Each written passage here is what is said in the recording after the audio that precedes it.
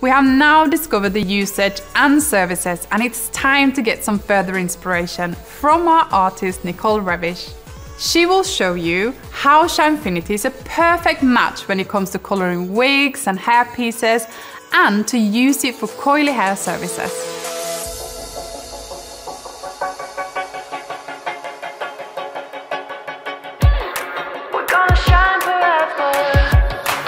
I'm Wella Design Team artist Nicole Revish Curtin. You can also find me on Instagram at Nicole Revish. And today I'm going to be doing a transformation on a lace front wig using Shinefinity.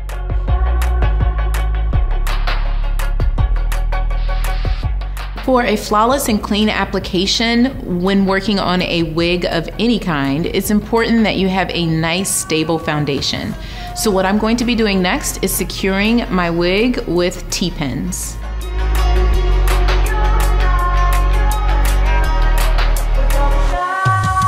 When coloring wigs and weaves, it's really important that you work with a very clean canvas. So what I like to do as soon as I have the wig in my possession is give it a good cleansing.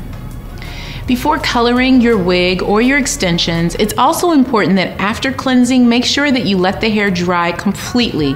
I love to just let the hair dry overnight. By letting the hair dry overnight, as opposed to giving it direct heat from a blow dryer, you really get an opportunity to preserve the texture and make sure that you haven't damaged the cuticle. Sectioning is key. Make sure that you map out your plan and find out exactly where do you want the color to live. So I'm pretty much gonna be sectioning up from the nape area to the top of the head with my application. I'm securing each section as I go to ensure a clean application as much as possible. I will be using wider foils versus what you're probably used to working with. And again, that's to ensure a very clean and flawless application.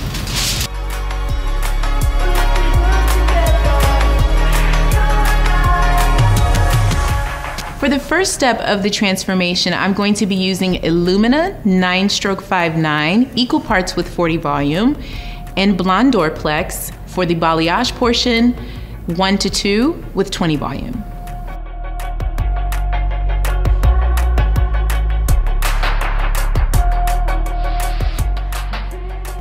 Shinefinity is a zero lift semi-permanent color glaze full of shade options, which is awesome for me when I'm working on clients or a wig or hair pieces, whether it's a blonde or brunette or redhead, the shine is amazing and the condition of the hair afterwards feels better than it did before.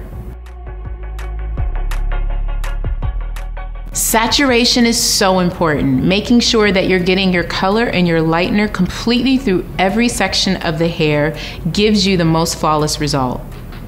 Chose 40 volume as my developer with Illumina 9 stroke 59 simply because we're working on a wig. It's not a live head of hair. So maximum lift is so important by letting each section fully develop until the end of processing time allows me to make sure that I have a beautiful base color as a wonderful backdrop for my balayage with Blondorplex.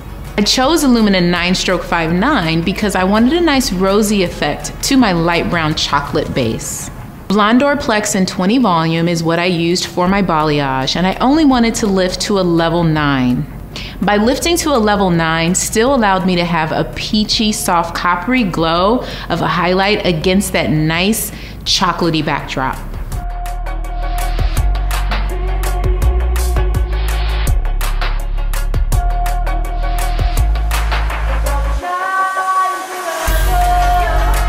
Before applying your Shinefinity glaze, it's really important to shampoo and prepare the hair, especially if you've done a balayage with Blondorplex.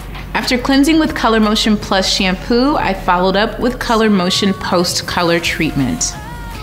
The Color Motion Post Color Treatment allowed me to have a great canvas to work with before I apply my Shinefinity glaze. I chose Shinefinity Glaze 7 Stroke 3-4 because I loved the coppery peachy tone that it gave with my mahogany chocolate base.